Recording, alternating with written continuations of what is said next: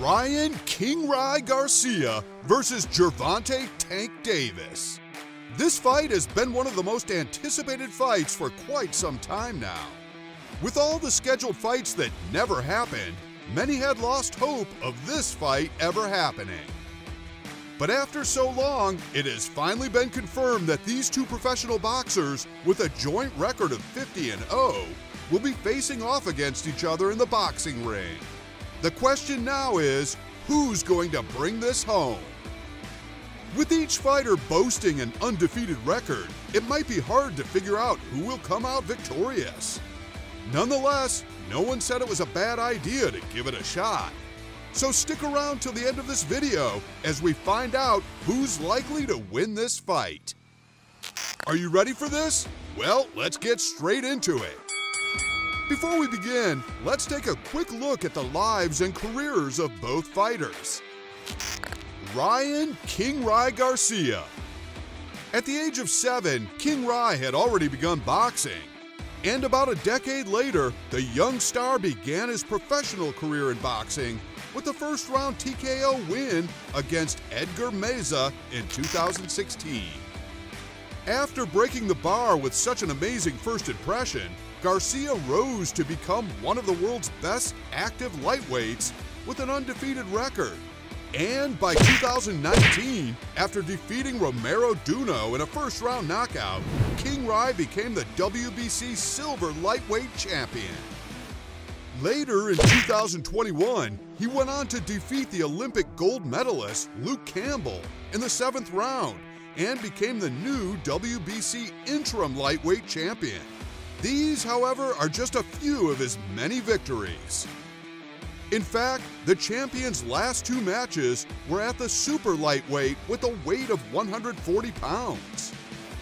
With all these impressive feats, we can agree that he has indeed earned the right to challenge his colleague, Gervonta Tank Davis. Gervonta Tank Davis. Tank Davis, on the other hand, is another professional boxer with the WBA lightweight title and a weight limit of 135 pounds. The champion has held onto the title since 2019 and ever since has had to defend it about three different times. Unlike King Rye, the boxer from Baltimore began boxing at the age of five.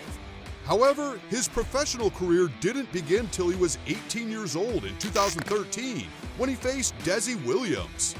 Tank Davis's victories consist of the IBF and WBA titles, which he won in the super featherweight division. By 2019, Tank Davis moved up to the lightweight division, where he faced off against Yuriorkis Gamboa. And like every one of his other matches, Tank came out victorious with the WBA lightweight title, which he has retained ever since. A couple of years later, Davis moved up again to the super middleweight division and fought the undefeated Mario Barrios.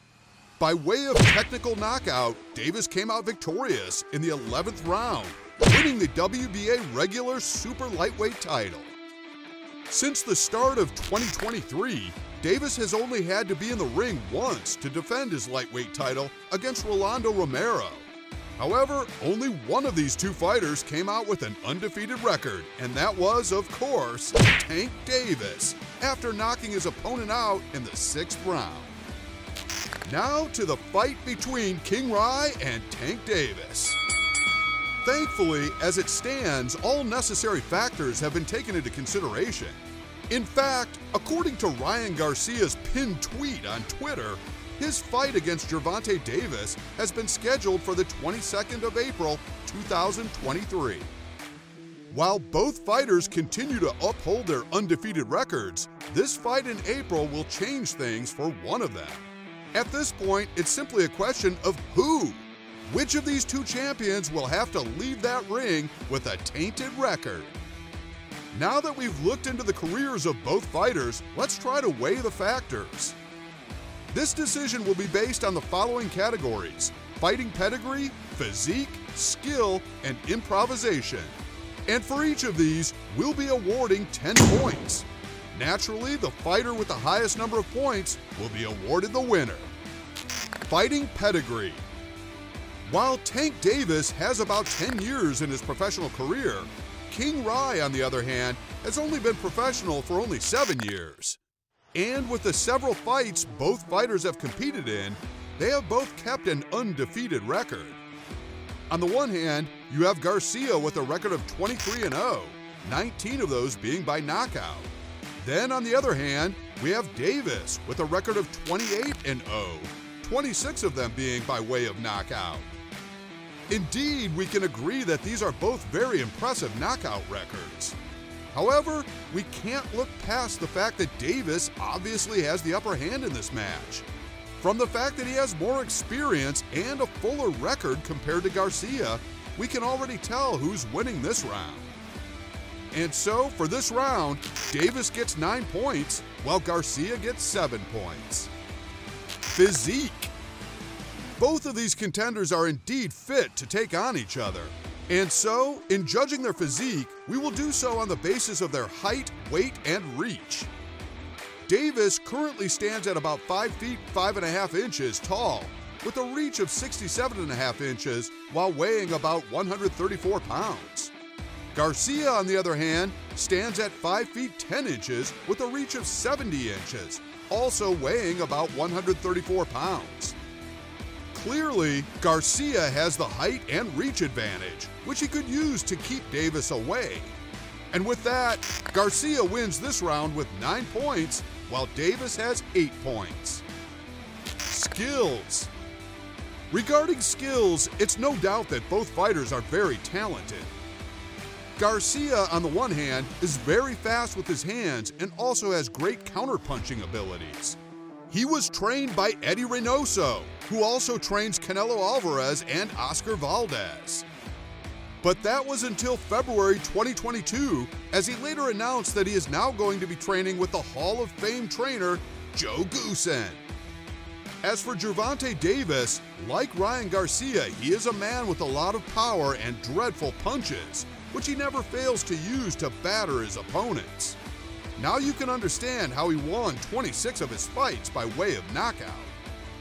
This round will have to be a tie because both men have very great skills. Which would you rather be, very fast or very strong? Do let us know in the comments section below. That said, both fighters get 8 points. Improvisation. In this category, Garcia already has the upper hand with his experience in Brazilian Jiu-Jitsu Davis, on the other hand, isn't known to be versatile in any other kind of martial arts. However, those power punches he always throws around wouldn't fail to wear out Garcia. Garcia already boasted about pulling off some left hooks that Davis may not survive, though.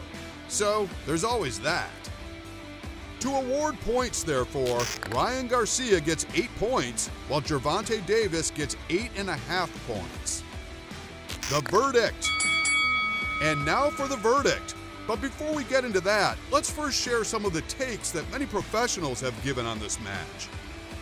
First is Henry Garcia, Ryan's father and trainer, who believes his son will emerge victorious. World champion Canelo Alvarez, however, had something very different to say. Seeing that he once shared a trainer with Garcia, Alvarez was more than convinced that Garcia didn't stand a chance against Davis. Alvarez stated that Davis's experience in fighting was a huge advantage that would hand him the victory. But of course, in boxing, you never know. Even when former world champion Mike Tyson was asked about this same fight, all he had to say was he didn't know. Tyson admitted that both men have equal chances of winning the fight, because you honestly never can tell.